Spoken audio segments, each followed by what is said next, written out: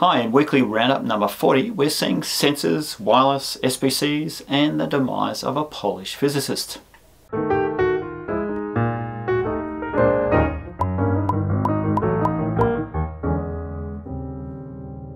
The Matrix Voice was an Indiegogo campaign I mentioned back in weekly roundup number 25.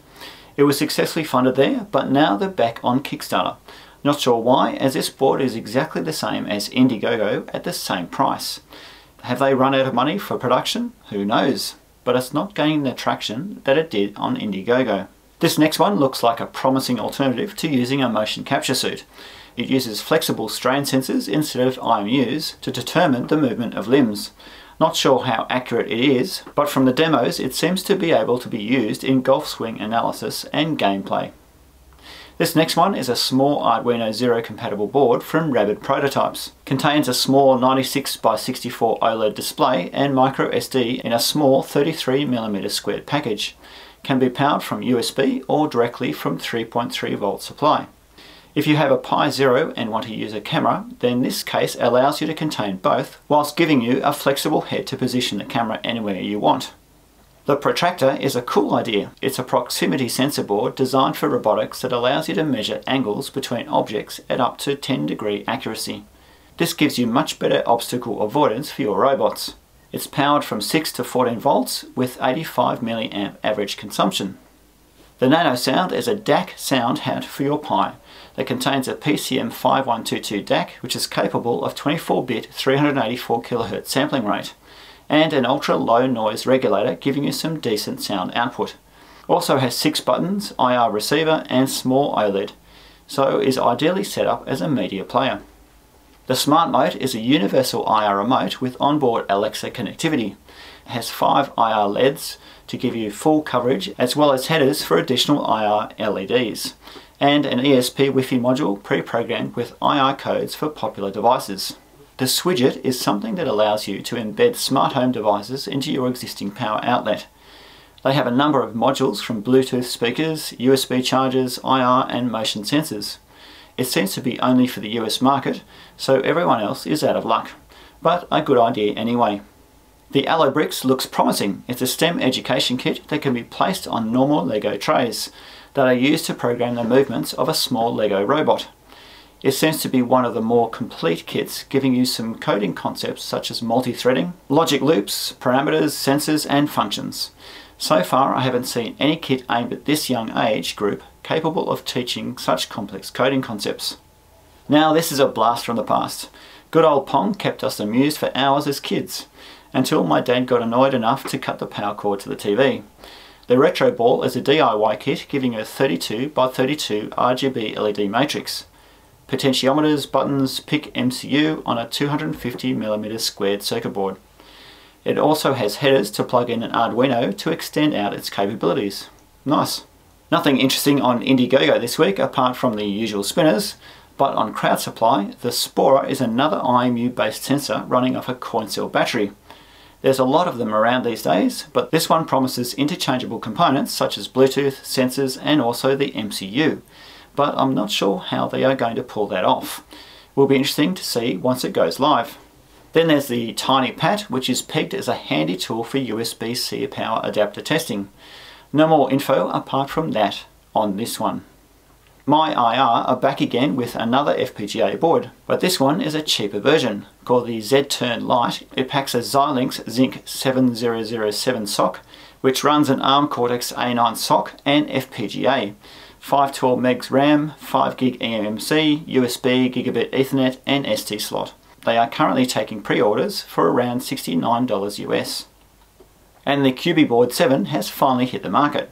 This one is a step up from the previous model with a SEMI S700 quad-core Cortex A53, 2 gigs DDR3 RAM, 8 gig eMMC, SATA 3, HDMI out, RTC, LiPo header, Wi-Fi and Bluetooth via the popular AP6212, and gigabit Ethernet. A nice board, but will be interesting to see what this alternative Cortex SoC is like.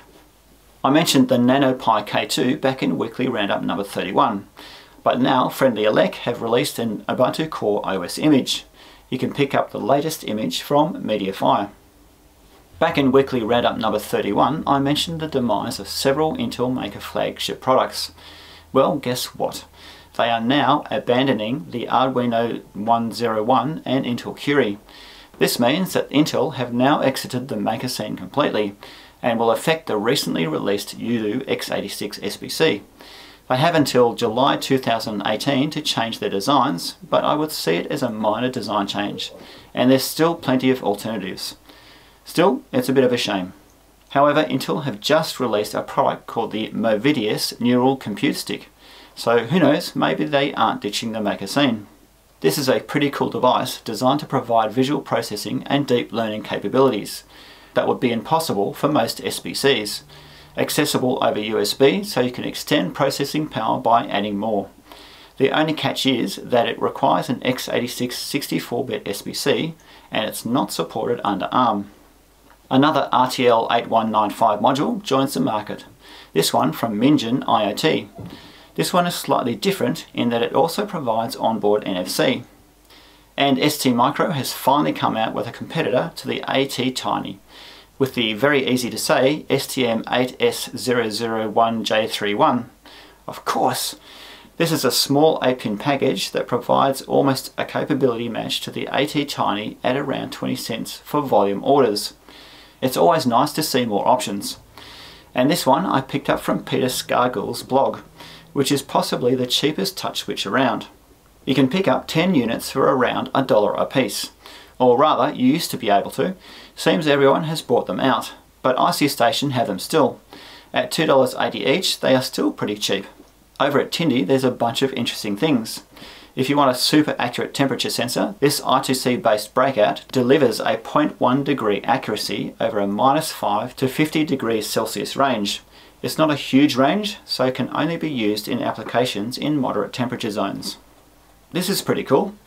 It's an optical SPDIF audio switch, can handle four optical and three SPDIF inputs, but the cool thing is that it will auto switch to whatever channel is active. Nice. It also has an optional high quality DAC support using the ES9023 Sabre DAC and the firmware updated over USB. If you're in need of opto isolators, this board provides four bidirectional channels. Or this board probably is the smallest USB hub I've seen around. And if you're running out of USB ports, why not use the mini PCIe slots USB port and extend it out with this board. This is actually quite handy and I'll pick up one of these. evive looks pretty cool.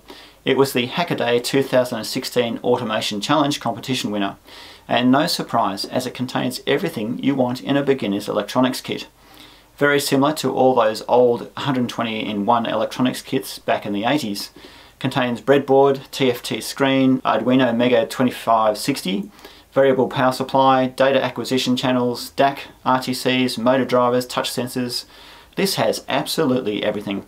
Coming in at over $100 US, it may seem expensive, but it's actually very cheap for what it is. At the other end of the spectrum is this very expensive MEMS spectrometer breakout. For almost $400 US, you get a very accurate C12880MA sensor used for such things as fluorescence spectroscopy. It's a device that's used in Peter Jansen's open source tricorder project. You can also pick this sensor up from Seeed Studio. The IR Droid is an RF gateway running the RT5350 SoC, running OpenWrt two Ethernet ports, Wi-Fi and two 433 MHz RF modules. A pretty complete package for the price. The original hornbill was seen on Crowd Supply back in Weekly Roundup number 21. Well now on Tindie there's the hornbill Minima, Minima or however you say it, which is exactly the same as the original but in a wearable format. The LoDuino is another Arduino and LoRa breakout. It contains an ATmega328 along with the RN2903 LoRa module. Also has LiPo charging and can draw 30 microamps on standby. This one has the micro FL connector and this one has a soldered copper antenna. If you want to practice your SMD soldering then this is really cool. Contains a sample of all the SMD package types you will potentially bump into, from 1206s down to 0201s. That's pretty tiny and you'll need to have good eyes for that. If you're successful, then you should be able to light up all the LEDs. Another Arduino Pro Mini compatible board, this one contains an RFM69 LoRa module, can run off a CR2450 battery or USB and is My Sensors compatible. And here's another LoRa shield from Arduino based on the RFM110L LoRa module. And from the same Tindie store, these LoRa module boards can accept an STM32 board, sometimes called the Blue Pill. Over at the major storefronts, ITEAD have come out with a Sonoff RF bridge that will seamlessly bridge all your 433 MHz RF devices to a Wi-Fi network. This is a pretty good bang for your buck and is one of those set and forget devices. Meanwhile, over at Seeed Studio, there's an IoT dev board called the Renesas S5D9. For 35 US dollars, you get a Cortex M4F MCU, 32 megs flash, 100 megabit ethernet, a bunch of motion sensors and microphone, and Grove and PMOD expansion headers, all running off a 5.1 to 24 volt DC input. They also have in the EMW3166 Wi-Fi module and development board, both of which were mentioned back in Weekly Roundup number 38 and is a competitor to the ESP8266s. There's also the EMW3239 Wi-Fi module and development board, which is a competitor to the ESP32s. And something must be brewing in the Raspberry Pi Foundation camp, as Seeed are wanting to dump all their stock of Pi 2s at a reduced price of $20 US. However, it's only version 1.1 of the Pi 2, so it's not using the current generation of 2837 SOCs, as exists in the Pi 3. Adafruit have updated the Gemma M0 from the ATtiny85 to the SAM D21 MCU, and also contains LiPo battery support on a sewable PCB. While over at DFRobot, they have a LiPo charging and boosting module based on the MP2636 and a water turbine generator that outputs a constant 5 volts at 150 milliamps from a 4 litre per minute water flow. It'll start to push out 2.5 volts when hitting 3.5 litres per minute. Now I was going to run my ESPRESSObin competition at the end of this video, but I ran out of time to organise it, so stay tuned for that. Anyway, thanks for watching and see you next week.